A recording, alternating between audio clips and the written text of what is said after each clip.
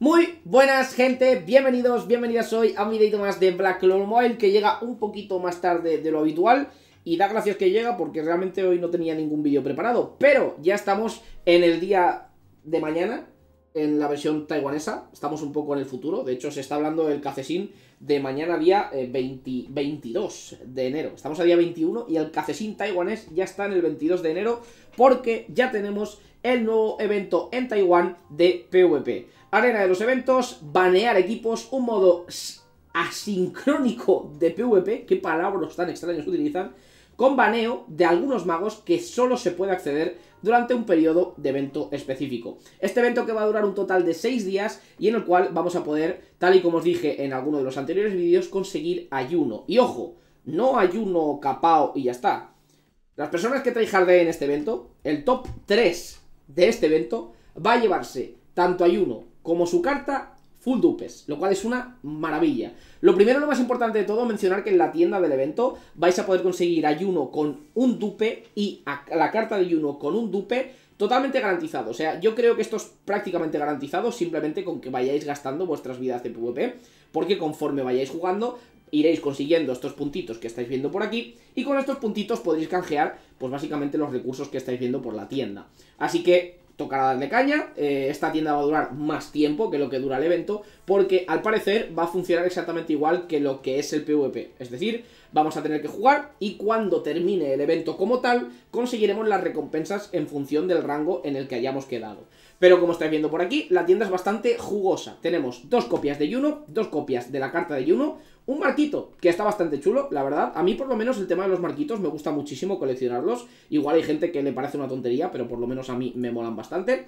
Luego tendríamos también una skin de reel, una skin de rapero, o como sí, cantante de rap, que lo han llamado por aquí.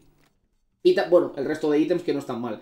Eh, las, las especias de Charmy, pues bueno, la verdad es que se agradece que, las, que las den, porque son bastante, son bastante escasas, la verdad, y de hecho se utilizan para recetas bastante interesantes. Te dan un total de 60, porque puedes comprar 6, como estáis viendo por aquí. Y bueno, luego la estamina y todo lo demás, pues está bien pillado, ¿no? Pero lo importante, evidentemente, estaríamos hablando tanto de Yuno como de la carta y las cosas limitadas, que serían tanto la skin como el, el, propio marquito, ¿no? Pues bueno, ¿cómo vamos a poder conseguir estas recompensas? Pues es simplemente un modo arena, pero con la excepción de que no podemos utilizar estos personajes que estáis viendo por aquí. Ni personajes tanque, ni personajes healer. Esto va a durar únicamente en este evento y en lo que dure. Es una, una, arena especial que no tiene nada que ver con la arena normal y de hecho, como estáis viendo por aquí, no gasta las vidas habituales de la arena, que ya sabéis que son las vidas rojas. En este caso estaremos gastando unas vidas verdes para este evento. Cuando se acabe el evento, se terminará y cuando vuelva a llegar, pues quién sabe si el próximo baneo será un baneo del atributo verde o un baneo de, yo que sé, que no puedas utilizar personajes cuya rareza principal sea SSR. Entonces, por lo menos a mí me parece bastante interesante, ¿no? Este modo de juego va a dar bastante que hablar y de momento, por lo menos en esta ocasión, que ya sabéis que los personajes de la Season 3 los están repartiendo como si fuesen una auténtica mierda, pues se agradece porque, pues bueno, los podemos conseguir de esta forma, ¿no? Ya veremos qué pasa con Vanessa, cómo la vamos a conseguir y ya veremos si futuros eventos de este estilo pues también nos acaban dando este tipo de recompensas que son tan jugosillas. En fin, eh, nada más entrar en el modo de juego de arena, os van a pedir que hagáis vuestros propios equipos. Eh, en este caso, como os mencionaba, no vamos a poder utilizar ni healers ni tanques, con lo cual personajes tan importantes como Mars, personajes tan importantes como la Charmy Seasonal, como la Mimosa Seasonal y este tipo de personajes, no los vamos a poder utilizar. Yo, en este caso, estoy en mi cuenta taiwanesa y como sabréis, pues bueno, voy bastante limitadito de personajes. Con lo cual, vamos a buscar algún que sea un poco carnaza, la verdad, me gusta... Ostras, es que esto va a ser, va a ser bastante complicado. Y vamos a intentar darle matarile, ¿no? Para intentar ponernos en una posición alta del, del ranking, que por cierto, esto es lo que no había mencionado, aquí en información de liga podemos ver cuáles son las recompensas que vayamos a conseguir al final de la semana. Conforme vamos subiendo, pues nos van a dar cada vez más puntos que canjear en la tienda, pero lo más importante es que a partir de Maestro 5, que sería, como estáis viendo por aquí, 1500 eh, puntos, y luego a partir de ahí, en top 500, pues conseguiremos estas recompensas. Estamos viendo ya eh, que, en esta, que, en esta en esta dificultad, perdón, que en este rango, que en Maestro 5, conseguiríamos un dupe de la carta de Yuno y a partir de ahí iríamos subiendo y empezaríamos a conseguir tanto Yunos como dupes de Yuno como más dupes de la carta. Siendo así que el top 3, como estáis viendo por aquí, se va a llevar a Yuno full dupes, porque aquí conseguiría un total de 4 más los que puede conseguir en la tienda y lo mismo con la carta, que puede conseguir dos en la tienda y cuatro aquí, pues conseguiríamos a estos a este personaje full dupes junto con su carta. Para la gente que pregunte cómo es el personaje, a mí no me disgusta, evidentemente hay personajes mil veces mejores que este, pero por supuesto, pues bueno, eh, hay que reconocer que no es lo mejor del mundo, ¿no? Este es el equipo que estoy llevando yo, ya sabéis, eh, mi cuenta de Taiwán es un poco, un poco bastante más humilde que la cuenta principal, aunque aún así la cuenta principal hay que mimarla bastante más. Pero por supuesto, pues bueno, eh, carece de algunos personajes como podrían ser Julius, como podrían ser Noel y como podrían ser pues muchísimos personajes que, que son prácticamente imprescindibles en cualquier cuenta de Black Clover Mobile. Pero ya estáis viendo por aquí que, bueno, eh, vamos a enfrentarnos a, a, este enemigo, que a priori debería ser un completo paseo, no tenía a los personajes subidos. Y, y con ello pues conseguiremos unos cuantos puntitos, ¿no? Es que ya veis que Nocel no es capaz de matar ni a, ni a un enemigo que está a nivel 31. y las habilidades están al tope, eso os, lo puedo asegurar, ¿eh? No es ningún tipo de broma, las habilidades del, de mi personaje están al tope. De verdad, os lo digo en serio. Es que es muy malo, tío. Es que es... A ver, no está hecho para hacer daño, eso, eso hay que tenerlo en cuenta, ¿no? Pero aún así llama la atención, la verdad. De hecho, eh, debería utilizar su ataque combinado, que con Fuego León está bastante bien.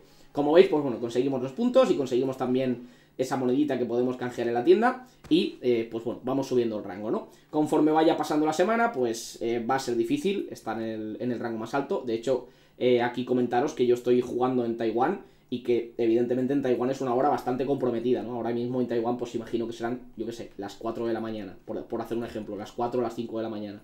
Entonces, pues pocos chinos están jugando, ¿no? Pero conforme vaya avanzando el día y demás, pues va a ser cada vez más difícil eh, aguantarnos en el top y yo os digo que va a ser totalmente imposible, ¿no? Pero bueno, un muy buen evento, la verdad, no me esperaba que diesen tantísimas copias de Yuno, que se pudiese farmear al tope, e incluso que, que, simplemente pudiésemos farmear un par de copias, porque recordad que en el evento de, de Asta solo se podían conseguir dos, o sea, perdón, o dos, que, que digo dos, se podía conseguir una Asta. Así que yo por lo menos me quedo bastante contento de que estén repartiendo estos de que estén repartiendo estos personajes de esta forma, de verdad, que me quedo muy pero que muy contento. Os lo digo muy en serio. Joder, qué mierda, tú.